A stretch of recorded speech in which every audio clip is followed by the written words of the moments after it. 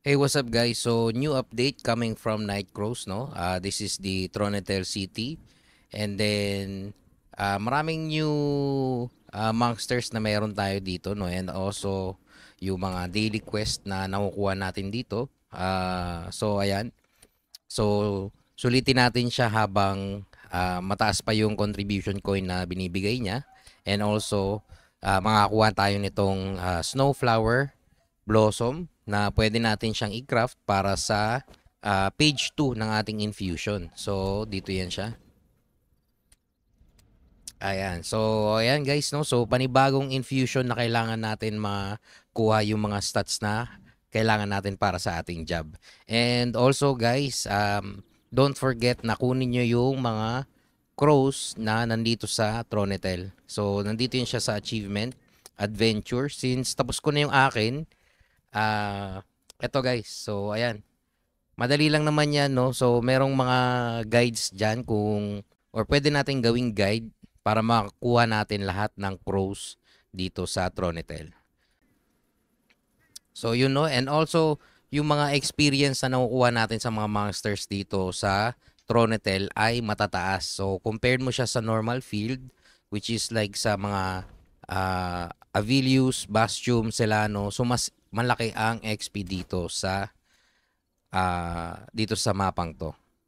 Tapos yung mga drop niya ay almost halos lahat merong mga tier 2. So kung suswertein ka sa drop, no? Tier 2 agad 'yan, guys. So so depende sa sa swerte ninyo kung magda-drop siya ng tier 2. And then also, syempre may panibago tayong mga uh, collection na dinadrop ng mga monsters, no? So, currently, ngayon ay June 1. So, ang presyo na lang ng uh, mga uh, items dito ay around 10 to 11 na lang yung uh, cost niya sa market dito sa C104. Okay?